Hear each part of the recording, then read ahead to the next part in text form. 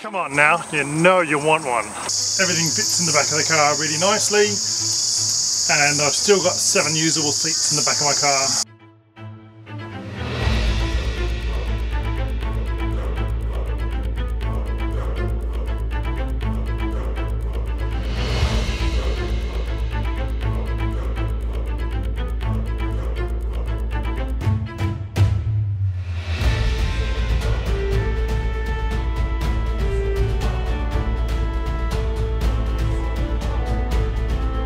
Medieval Mayhem does all kinds of medieval videos. To find out more about this, click the link below and find us on YouTube.